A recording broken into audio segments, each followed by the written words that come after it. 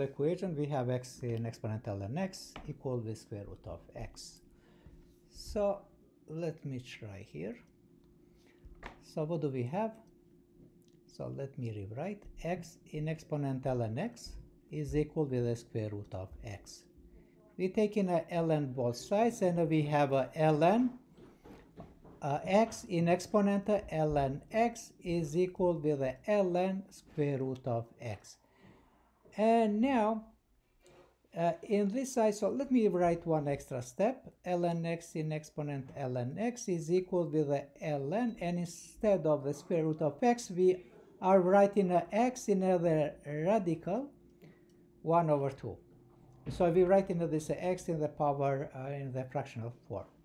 And now, uh, according to the rules of the exponents, this exponent can become as a multiplier is a ln x times a ln x is equal with one and a half ln x.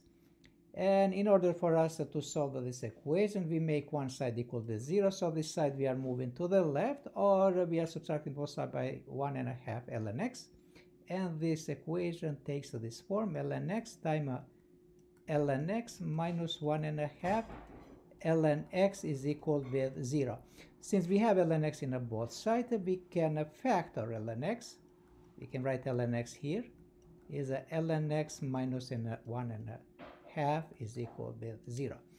And when we are in this situation here, according to the zero factor theorem, ln x, we can write the ln x is equal with 0 and if we write in an exponential form is that ln x is equal to the e in a 0 so here is a e x e ln. E ln is 1 1 times x is a x.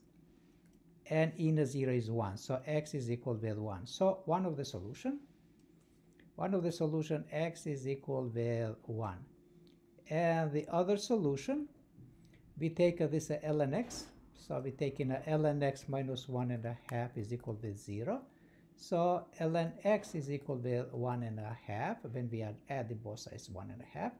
And if we are writing in the exponential form is the ln x is equal to the e one and a half. So based on this one here x is equal and e in a in a power one and a half is the square root of e.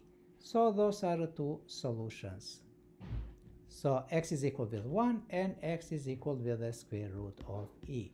So this uh, equation here has a two, two uh, solution. So x is equal with 1 and the x is equal with the square root of e. Those are two solutions.